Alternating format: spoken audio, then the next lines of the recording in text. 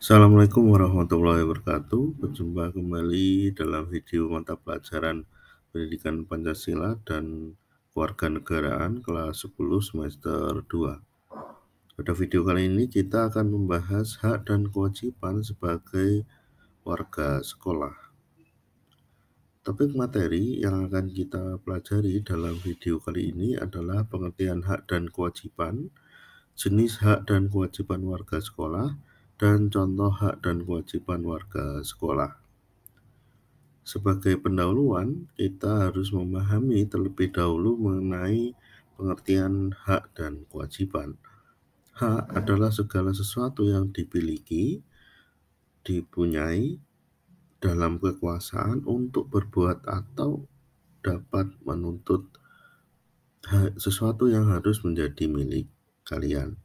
Sedangkan kewajiban adalah sesuatu yang harus dan wajib dilaksanakan berkaitan dengan tugas dan tanggung jawab yang telah diberikan. Nah, apa itu warga sekolah yang akan kita pelajari hari ini? Warga sekolah adalah anggota sekolah berupa komponen yang hidup yang terdiri dari masukan sumber daya manusia, masukan lingkungan, dan masukan mentahan. Sebagai warga sekolah sendiri terdiri dari dua jenis, yaitu pengelola sekolah dan anggota sekolah. Pengelola sekolah di sini ada kepala sekolah, tata usaha, dan guru. Sedangkan anggota sekolah adalah seluruh siswa dari kelas 10 sampai kelas 12. Nah, apa jenis hak dan kewajiban warga sekolah? Hak dan kewajiban untuk kepala sekolah. Ada hak dan kewajiban untuk guru dan karyawan, dan ada hak dan kewajiban untuk siswa. Hak dan kewajiban adalah seluruh warga sekolah memiliki hak dan kewajiban yang sama dalam pelaksanaan kegiatan sehari-hari. Seluruh siswa atau warga sekolah wajib patuh untuk melaksanakan setiap aturan yang telah dibuat. Sebagai contoh, hak dan kewajiban sebagai warga sekolah. Yang pertama adalah hak kepala sekolah. Hak kepala sekolah yang pertama adalah dihargai oleh seluruh guru, karyawan, dan juga siswa. Mendapatkan kerjasama yang baik ketika mendelegasikan tugas kepada guru atau karyawan yang telah ditunjuk menerima laporan kerja seluruh guru dan karyawan, memutuskan arah dan kebijakan sekolah. Sedangkan kewajiban kepala sekolah adalah merumuskan, menetapkan, dan mengembangkan visi misi tujuan sekolah. Menyusun program kerja, jadwal pelaksanaan kegiatan sekolah per semester atau tahunan. Yang ketiga adalah memelihara hubungan baik antara sekolah dengan orang tua murid, masyarakat, dan instansi lain yang keempat adalah memberi pelindungan bagi semua. Yang kedua adalah hak untuk guru. Diatur di dalam Undang-Undang Nomor 20 Tahun 2003 Pasal 39 pas hingga Pasal 44 ya, yaitu mem, guru memperoleh perlindungan dalam melaksanakan tugas dan hak atas kekayaan intelektual, mendapatkan hormat dan dihargai oleh murid, memiliki kebebasan memberikan penilaian dalam pembelajaran.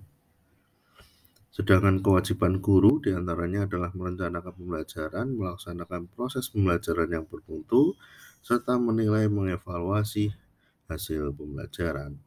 Bertindak objektif dan tidak diskriminasi dalam kegiatan pembelajaran, mengembangkan kualifikasi akademik.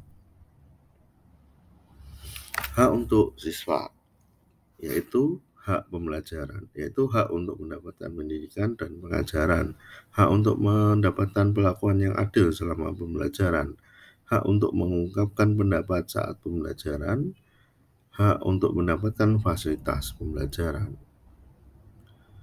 hak untuk siswa dalam kegiatan di sekolah, hak untuk mengasah minat bakat serta prestasi di sekolah, hak untuk meningkatkan kompetensi selama di sekolah, hak untuk mengikuti organisasi ekstrakurikuler, hak untuk mencalonkan diri sebagai pengurus kelas, OSIS, ataupun pengurus ekstra.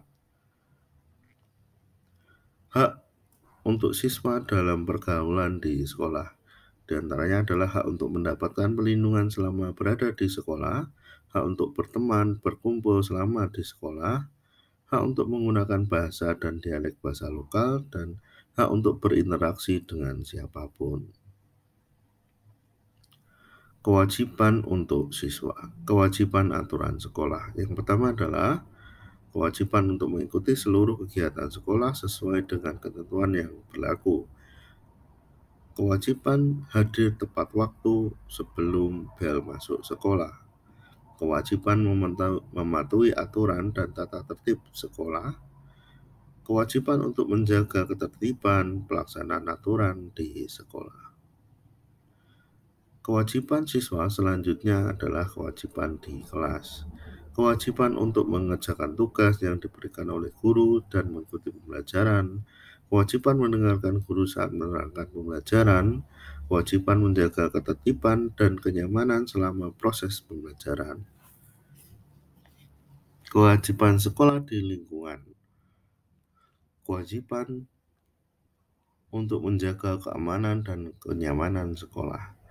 Siswa berkewajiban melaksanakan jadwal piket lingkungan 9K Siswa juga harus ikut serta peduli kepedulian di sekitar lingkungan sekolah. Dan yang terakhir adalah kewajiban dalam memelihara tumbuhan dan hewan yang ada di sekitar sekolah. Semua siswa setara dalam hak dan kewajiban. Semua manusia sama bertanggung jawab atas nasib umat manusia. Demikian video pembelajaran kali ini. Apabila ada kekurangan saya mohon maaf. Terima kasih sudah menonton. Assalamualaikum warahmatullahi wabarakatuh.